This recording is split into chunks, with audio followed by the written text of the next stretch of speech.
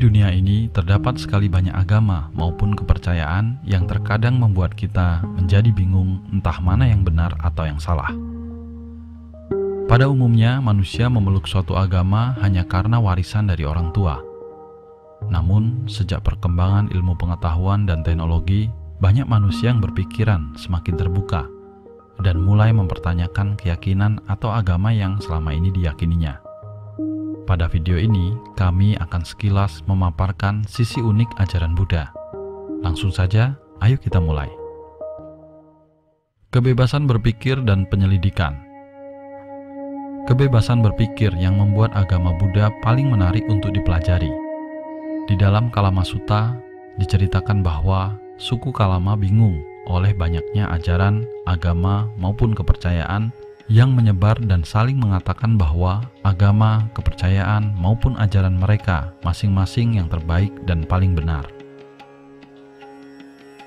Ketika suku Kalama bertanya kepada Sang Buddha tentang dhamma ajarannya, Buddha menjawab dengan 10 pernyataan yang di luar pemikiran manusia pada umumnya. Seseorang tidak seharusnya menerima suatu ajaran hanya karena turun-temurun telah diajarkan secara lisan Seseorang tidak seharusnya menerima mentah-mentah suatu ajaran hanya karena itu merupakan tradisi yang telah dilakukan secara turun-menurun. Seseorang tidak seharusnya menerima suatu ajaran secara membuta karena telah tersebar umum, dipercayai banyak orang, disetujui banyak orang. Seseorang tidak seharusnya menerima suatu ajaran sebagai kebenaran hanya karena telah tercantum dalam kitab suci Seseorang tidak seharusnya menerima suatu ajaran sebagai kebenaran hanya karena sejalan dengan logika. Seseorang tidak seharusnya menerima suatu ajaran sebagai kebenaran hanya karena hipotesis, pemikiran maupun analisis dalam pemikiran, dan terburu-buru mengambil kesimpulan. Seseorang tidak seharusnya menerima suatu ajaran sebagai kebenaran hanya karena masuk akal, seperti yang terlihat atau yang dirasa. Seseorang tidak seharusnya menerima suatu ajaran sebagai kebenaran hanya karena sesuai dengan anggapan sebelumnya. Seseorang tidak seharusnya menerima suatu ajaran sebagai kebenaran hanya karena kredibilitas, ketenaran, karisma, kedudukan maupun pendidikan dari si pembicara. Dan yang terakhir, seseorang tidak seharusnya menerima suatu ajaran sebagai kebenaran hanya karena si pembicara adalah gurunya sendiri.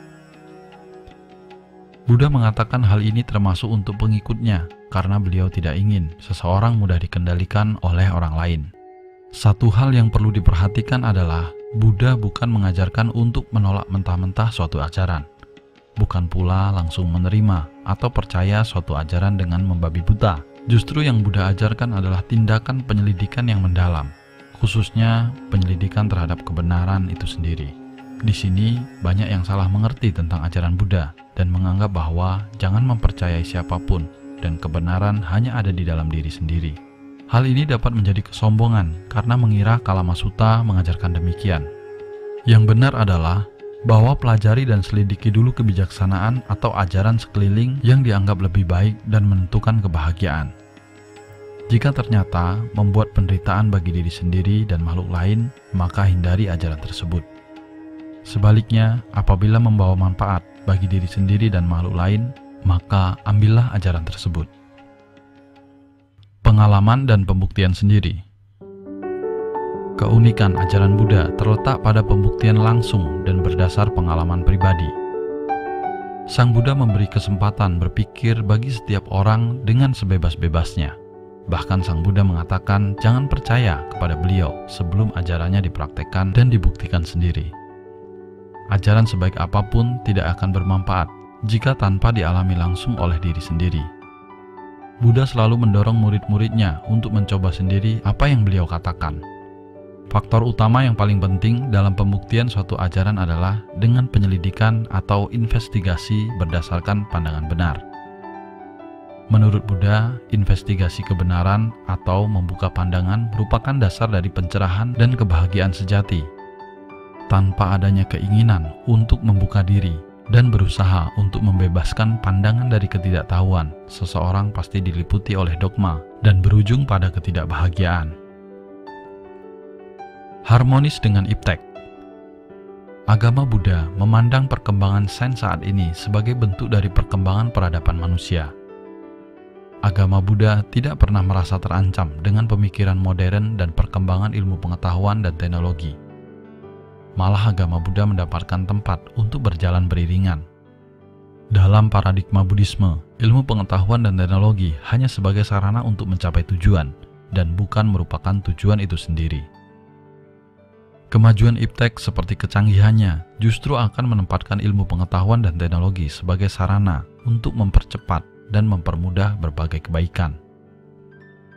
Bagi ajaran Buddha, perkembangan teknologi bagaikan pisau yang di satu sisi dapat dimanfaatkan untuk memotong di dapur, namun di sisi lain dapat juga dipakai untuk melukai orang lain. Jadi, alih-alih ajaran Buddha menolak pisau tersebut, melainkan alasan penggunaan pisau tersebut yang ditolak oleh beliau ketika dipakai untuk melukai. Bertanggung jawab pada diri sendiri. Sang Buddha mengatakan bahwa segala hal yang ada di alam semesta ini saling terkait, saling terikat, dan saling mempengaruhi. Sebab akibat yang diajarkan Buddha bukan sekedar satu arah, namun lebih kompleks, bagaikan jaring laba-laba yang saling terkait dan berpengaruh. Getaran di satu titik pada bagian jaringan akan memberikan dampak terhadap sekitarnya. Tentunya persekitarannya yang paling dekat yang menerima dampak lebih besar daripada bagian jaring yang jauh. Sama seperti itu pula setiap tindakan seseorang akan mempengaruhi dan memberikan dampak terutama terhadap orang-orang serta lingkungan sekitarnya. Inilah makna ajaran Buddha yang paling dalam dan khas, kesaling terkaitan antara segala sesuatu. Ajaran Buddha juga satu-satunya ajaran yang tidak mengenal diri atau roh yang kekal pada diri seseorang. Sang Buddha mengajarkan bahwa segala yang ada di alam semesta ini selalu mengalami perubahan – sehingga tidak memerlukan suatu diri yang tetap. Ketidaktahuan dan kebodohan karena tidak dapat menerima perubahan itulah yang dikatakan Buddha sebagai penderitaan. Karena tidak adanya diri yang tetap, Buddha mengajarkan bahwa lakukanlah hal-hal yang baik demi diri sendiri maupun orang lain. Bukan hanya demi diri sendiri, namun juga orang lain. Bukan pula hanya demi orang lain tanpa melatih diri sendiri. Ketika semakin memperdalam ajaran, banyak guru-guru Buddhis mengucapkan bahwa mereka tidak dapat membedakan kebahagiaan diri sendiri maupun orang lain. Kebahagiaan orang lain sama dengan kebahagiaan diri sendiri. Itulah harapan Sang Buddha yang terus-menerus membagi ajaran dan cara-cara untuk mendapatkan kebahagiaan sejati.